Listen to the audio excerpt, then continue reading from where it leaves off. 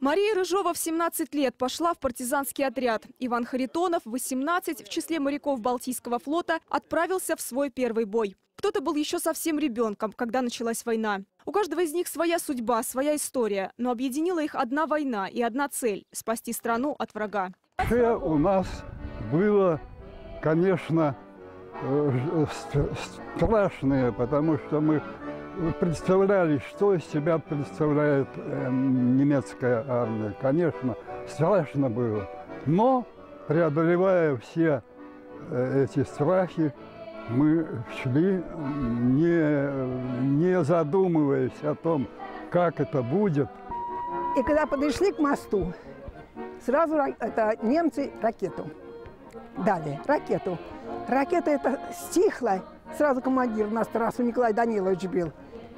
Вперед! Руководители Фокинского района и представители Брянского городского совета народных депутатов поздравили всех, кто смог приехать на встречу с приближающимся Днем Победы. Вместе они возложили цветы к вечному огню и почтили память не вернувшихся с войны минутой молчания. Продолжилась встреча за общим столом на солдатском привале. Спасибо. Спасибо всем тем, кого нет сейчас рядом с нами. Тем, кто отдал лучшие годы своей жизни этой победе. Спасибо за то, что есть у нас сегодня мирное небо над головой. Есть возможность делать нашу страну лучше для всех вас, для подрастающего поколения.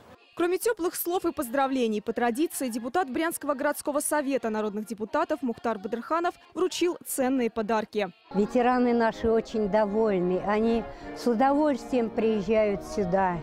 И всегда с такой благодарностью, с такой теплотой отзываются а, об этом вот, э, об этой партизанской поляне. Власти города и района в этот день поздравили всех ветеранов, в том числе и тех, кто по состоянию здоровья уже не может выехать навстречу. Мария Мордашова принимала поздравления не только с наступающим праздником, но и с 95-м днем рождения, который совпал с Днем Великой Победы.